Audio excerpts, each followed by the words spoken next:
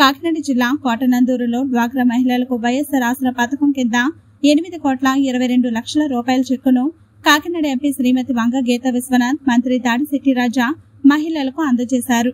ఈ సందర్భంగా మంత్రి రాజా మాట్లాడుతూ తాండవ్ షుగర్ ఫ్యాక్టరీ తెలుగుదేశం నాయకులు సర్వనాశనం చేస్తే చెరుకు రైతుల బకాయిలను పదకొండు కోట్ల రూపాయల మేర తమ ప్రభుత్వం చెల్లించింది అన్నారు. షుగర్ ఫ్యాక్టరీని నిర్వీర్యం చేసిన తెలుగుదేశం నాయకులు ఫ్యాక్టరీని ప్రారంభించాలని అడగడం హాస్యాస్పదంగా ఉందన్నారు. షుగర్ ఫ్యాక్టరీని పునః ప్రారంభించాలంటే సుమారు అరవై కోట్ల రూపాయలు అవసరం అవుతుందని ఈ విషయాన్ని ప్రభుత్వం దృష్టికి షుగర్ ఫ్యాక్టరీల కమిటీ దృష్టికి తీసుకెళ్ళడం జరిగింది అన్నారు. ఈ కార్యక్రమంలో కోటనందూరు మండల అధ్యక్షులు శ్రీ లగుడు శ్రీనివాస్ లోవ దేవస్థానం చైర్మన్ గొర్రె అచ్చినాయుడు లోవ దేవస్థానం మాజీ chairman Lalam Babji YS MPP Koruprolu Ravanamma Krishna మండల convener Chinthakayala Chinnababu market yard chairman Makinedi Babu vice chairman Velaka Krishnaji cooperative chairman Gorli Ramachandrarao మండల agriculture adviser chairman Sorlaraju Kotananduru మండల ఎంపీటీసీలు వివిధ గ్రామాల సర్పంచులు ఆసరా లబ్ధిదారులు అధికారులు అనధికారులు వైసీపీ నాయకులు కార్యకర్తలు పాల్గొన్నారు. మండలంలో లెక్కేసుకుంటే పదివేల తొమ్మిది వందల అరవై మంది.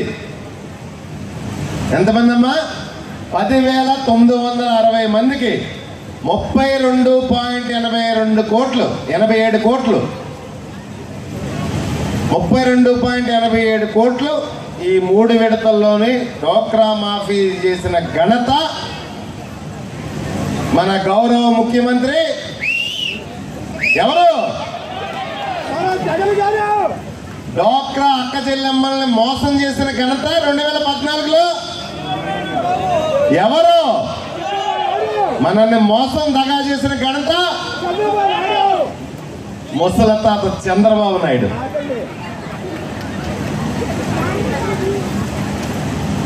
ఈ మధ్యకాలంలో ఓ ముసలి తాత తిరుగుతున్నాడు. ఎలక్షన్ దగ్గరికి వచ్చింది కదా. నలభై సంవత్సరాల ఇండస్ట్రీ అంట. ఇంగ్లీష్లో రకరకాల మాటలు మాట్లాడుకుంటూ మనకు అర్థం అర్థం కాని మాటలు మాట్లాడుకుంటూ తిరుగుతున్నాడు. అతనికి ప్రజల కష్ట నష్టాలతో సంబంధం లేదు. ప్రజలతో సంబంధం లేదు. అతని వైఎస్ఆర్ ఆసరా ఈ పథకాన్ని మన జగనన్న ఎందుకు ఇంప్లిమెంట్ చేయవలసి వచ్చిందంటే గత రెండు వేల పద్నాలుగులో ఆరు వందల హామీలు ఇచ్చి మొత్తం డోక్రా రుణాలన్నీ కూడా మాఫీ చేస్తానని అక్క చెల్లెమ్మలందరికీ హామీ ఇచ్చి చంద్రబాబు నాయుడు ముఖ్యమంత్రి అయిన తర్వాత తన హామీ ఇచ్చిన మాటే మర్చిపోయి నేను హామీ ఇచ్చానా? డోక్రా రుణాలు మాఫీ చేస్తానని ఎవరన్నారు?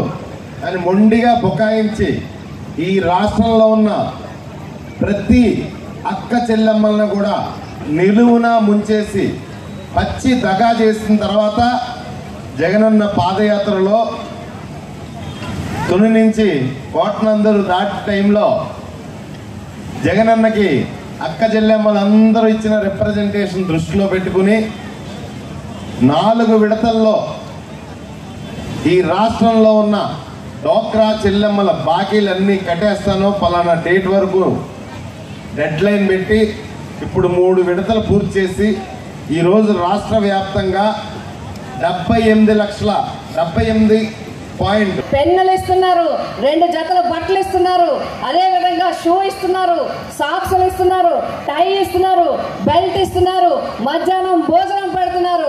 మళ్ళీ అమ్మఒడి ఎందుకు ఇస్తున్నారని చెప్పి జగన్మోహన్ రెడ్డి గారిని ప్రశ్నించడం జరుగుతుంది. ఆయన ఒక్కటే సమాధానం చెప్పడం జరుగుతుంది. నా అక్క చెల్లెమ్మలు ఆర్థికంగా స్వేచ్ఛగా ఉండాలి. ఎక్కడ తలదించుకోవడానికి వీల్లేదు అని చెప్పి ఈరోజు కోట్లాది రూపాయలు పెట్టి మీ అందరికీ అమ్మఒడి కార్యక్రమాన్ని ప్రవేశపెట్టడం జరుగుతుంది ఏ విధంగా ఇచ్చారో ఒకసారి ఎక్స్ప్లెయిన్ చేయనా? ఒక పెన్షన్ కావాలంటే జన్మభూమి కమిటీ సభ్యులకు మూడు నెల మూడు నెలల పెన్షన్ ఇచ్చేవాళ్ళు నిజమా కాదా నేను అర్థం నేను చెప్పేది? మూడు నెలల పెన్షన్ వాళ్ళకి ఇచ్చేస్తే కానీ పెన్షన్ రిలీజ్ అయ్యేది కాదు. పెన్షన్ వచ్చిన తర్వాత మళ్ళీ చిలక్కోట్లు అందులో. నెలకి మూడు వందల నుంచి ఐదు వందల వరకుని ప్రతి పెన్షన్లోని. వీళ్ళందరికీ జన్మభూమి కమిటీ సభ్యులందరికీ జ్వరాలు వచ్చేసాయి. ఏటి జగన్ అన్నే ముప్పై రెండు కోట్ల ఎనభై ఏడు లక్షల రూపాయలు ఒక్క మండలంలోనే ఇచ్చేసాడు రా బాబు బ్యాంక్ అకౌంట్లో వేసాడు రా బాబు ఈ అందరికని అదే మనం అయితే ఏం చేద్దాం? రెండు కోట్లు పంచిపెట్టి ముప్పై కోట్లు నొక్కేద్దాం. అని బెంగెట్టుకుని చచ్చిపోతున్నారు ఈ జన్మభూమి కమిటీ సభ్యులందరూ కూడా.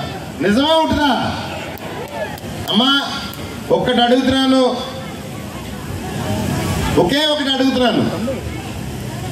జన్మభూమి కమిటీ పరిపాలన కావాలా మనకి? జగనన్న సంక్షేమ పరిపాలన కావాలా? ఎవరు కావాలి? రెండు చేతుల పైకెత్తి. ఎవరు కావాలి? మాకు ప్రశాంతంగా ఉండడం కావాలి జగన్ అన్న కావాలి. అంతేగాని అధికారం వస్తే వాళ్ళ మీద కేసులు పెట్టేస్తాను వీళ్ళ మీద కేసులు పెట్టేస్తాను వాళ్ళ లోపలేసేస్తాను వీళ్ళ లోపలేసేస్తాను అని తిరగడం అన్నది అధికారం వస్తే ప్రజలకు సేవ చేయి. నీకు అందుకే ఓటేసాం మా మీద పగబడ్డాను కాదు. అదే కనుక ఆలోచనలు మాకుంటే అర్ధరాత్రి లింగలు లింగలు ఎగ్గొట్టుకుని పరిగెడతారు నువ్వు నీ అన్నగారుని. అర్ధరాత్రి అలాంటి ఆలోచనలు మాకుంటే ఇంకోటి చెప్తున్నాను. రేపు నీకు